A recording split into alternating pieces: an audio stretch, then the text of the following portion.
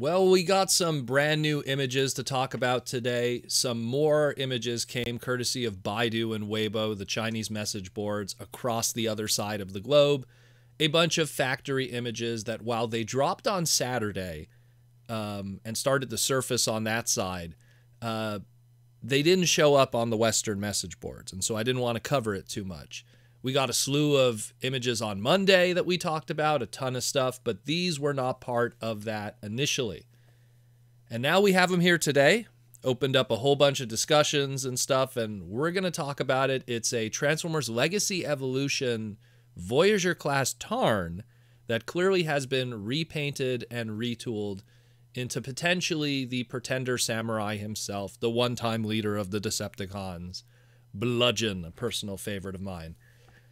And um, it seems to continue this long-standing tradition of Bludgeon. This started back with Robots in Disguise in 2001, that series, of Bludgeon being repainted into something whenever it's a tank or some kind of military vehicle.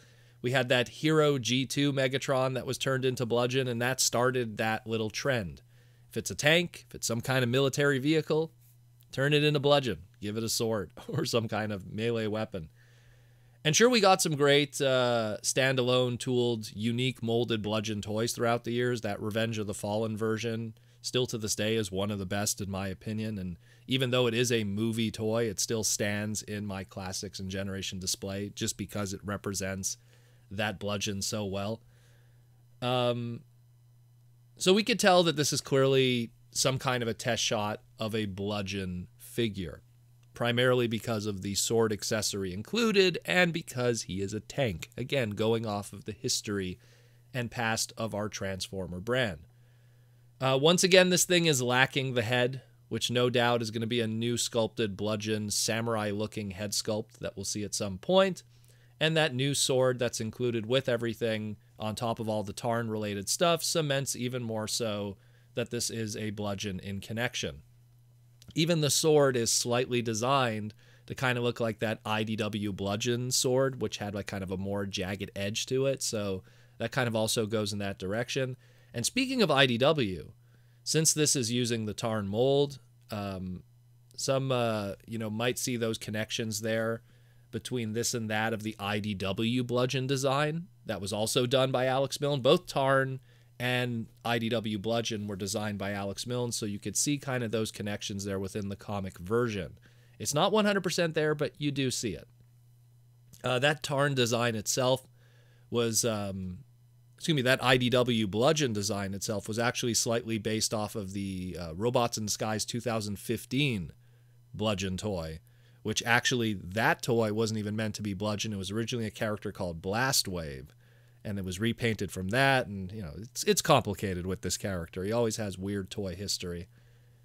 Anyhow uh, when it when you compare the robot mode from the front with the original voyager tarn uh, nothing is pretty much clear that this is a bludgeon retool. I mean it's pretty much just a straight up repaint but now you could kind of see more that skull that skull stomach kind of design that originally was on the Tarn mold start to really be more noticeable now, and no doubt will be played out more when the figure is painted and put into proper plastic colors.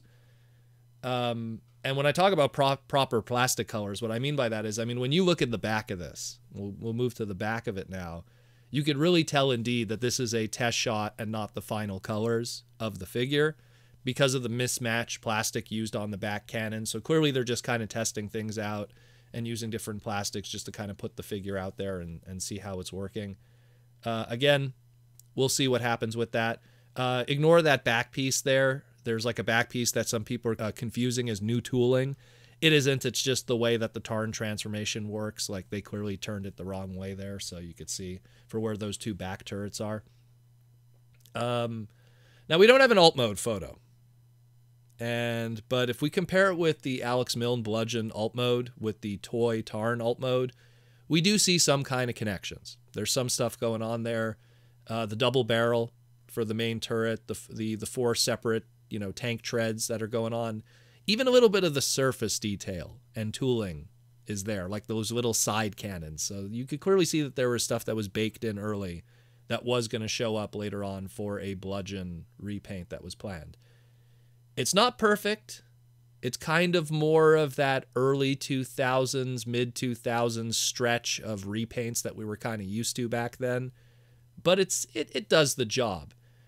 And I have a gut feeling, and this is just my own personal opinion, but I have a gut feeling that this is one of those more lower effort store exclusive releases rather than a mass retail item that's going to be made in larger numbers and kind of has to do a better job.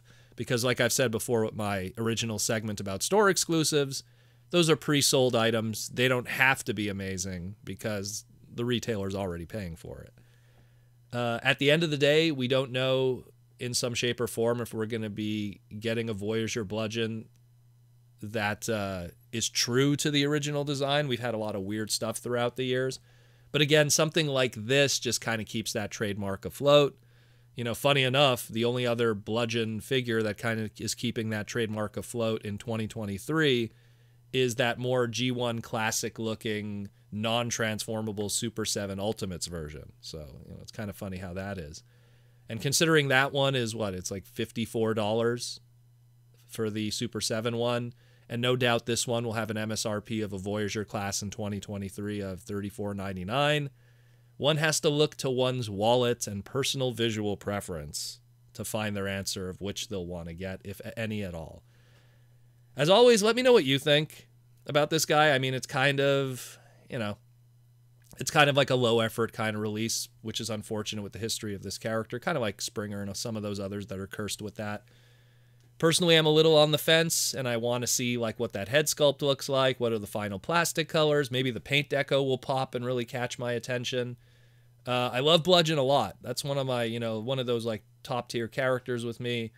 But sometimes, you know, there's toys that are hit or miss in the history of this character, and I kind of skip out on them.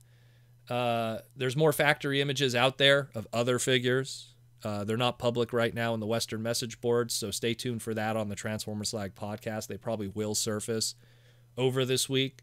And you know us, we'll cover it. We'll talk about it. We'll break it down. We'll make sense of it. And you guys will uh, let me know what you think about it. And again, thanks again for listening to the Transformer Slag podcast. And we will talk again really, really soon in the near future. A lot of stuff to cover here in the Transformer world. Take care, guys, and thanks again for listening and being entertained, educated, and informed.